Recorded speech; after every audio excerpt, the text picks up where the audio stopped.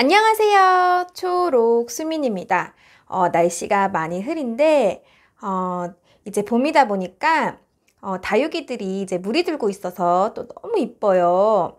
어, 물이 드는 모습이 꽃 같아요. 꽃도 예쁘지만 다육이는 이렇게 물드니까 어, 장미같이, 어, 장미꽃같이 정말 너무 너무 아름다워요. 이 아이는 모란인데요.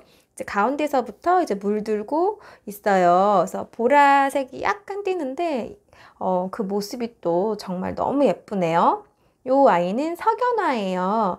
어, 석연화도 이렇게 어, 지금 이쁘게 심어졌는데요. 이거 선물 받은 건데 또 너무 이쁩니다.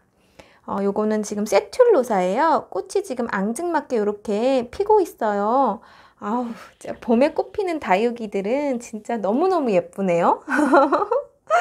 아우 예쁘다. 너무너무 예뻐요. 어, 요 화분은 옥토 화분인데요. 이 화분이랑 어, 요 석연화랑 좀 제가 잘 심어준 것 같아서 어, 많이 예뻐요.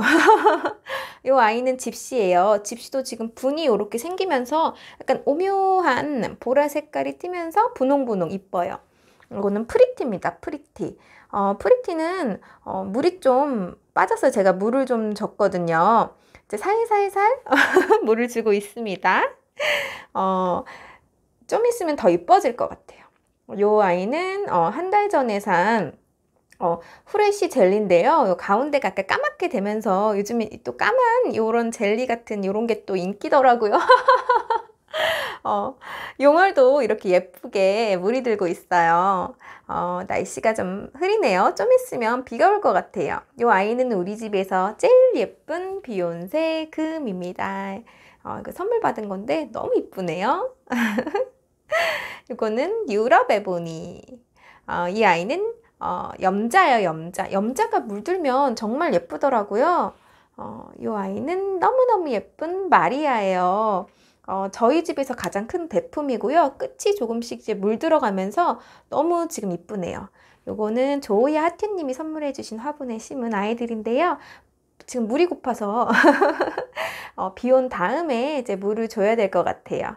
쫄쫄쫄 굶어가지고 어, 얘는 고스티예요. 고스티도 물들면 너무 이쁘더라고요. 어, 저는 이제 고스티, 어, 용월, 어, 집시 이런 애들이 좀 많이 이쁘더라고요. 이제 또 고스티는 가운데서부터 물들어서 정말 더 이쁜 것 같아요.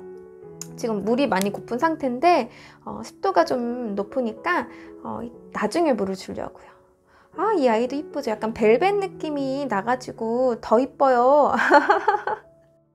시청해 주셔서 감사합니다. 모두 행복하세요.